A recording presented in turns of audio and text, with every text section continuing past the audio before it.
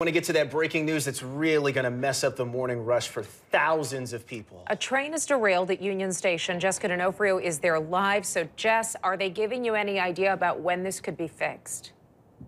It's going to be a, a while, Tanya. They told me that this is going to take a Herculean effort to get this fixed sometime today. But Metra is also telling us that certain train lines can expect to up to 30 minute delays today. This will have an impact on the morning rush, but it will definitely have an impact on the evening rush as well. We have Chopper HD over the scene right now. It is hard to see, but at around 10:50 last night, inbound Southwest Service train 842 was arriving on the south side of Union Station. That's underneath the old post office when the third, fourth, and fifth cars of that train derailed.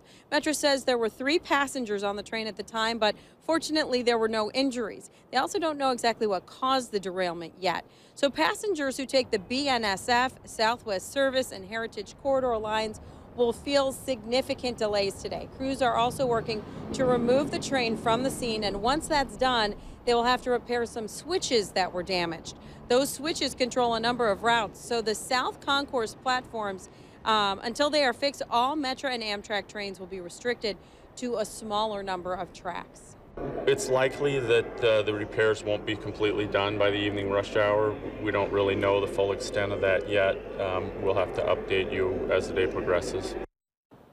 Yeah, and Metra is certainly apologizing to its customers, but they say that they are working on it and they are urging their customers to check for updates throughout the day today.